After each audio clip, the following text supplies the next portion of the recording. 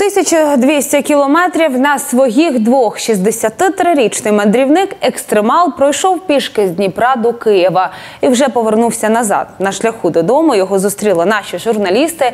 Скільки часу він витратив на мандрівку? Чому здійснив похід і до чого тут станція академік Вернанський в Антарктиді?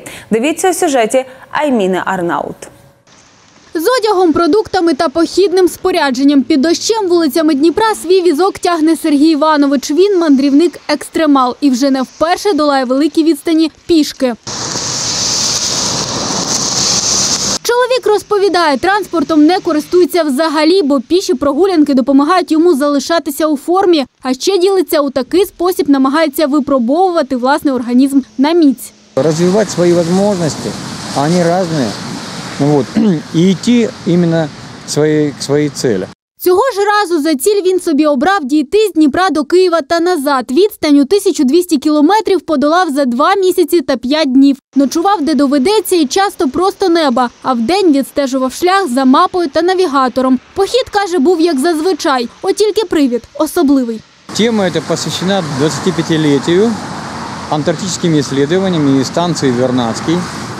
Вот, ну и э, памяти первой украинской антарктической экспедиции А все тому пояснює мандрівник, бо участь у цій першій експедиції брав і він сам. В Антарктиді Сергій Іванович працював інструктором з виживання.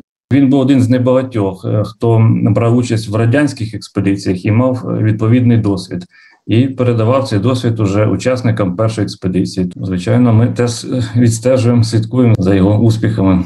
Про мандри Сергія Гордієнка та його антарктичне минуле знають і у Дніпрі, кажуть на шиномонтажі. Тут чоловік спинився на перепочинок. Я його бачив раніше по телебаченню і якраз е, ремонтували машину, вийшли, дивимося, стоїть чоловік. Спочатку не відразу його впізнали, потім запропонували підійти, не мокнути під деревом. Пропонували йому кофе або чай. Він погодився. Та надовго мандрівник не затримався, бо поспішав додому. Утім, чоловік додав, пішов не відпочивати, а планувати нову подорож. Незабаром хоче на каяках вирушити до Іспанії. Айміна Арнаут, Богдан Пападін та Андрій Миронюк. Деталі.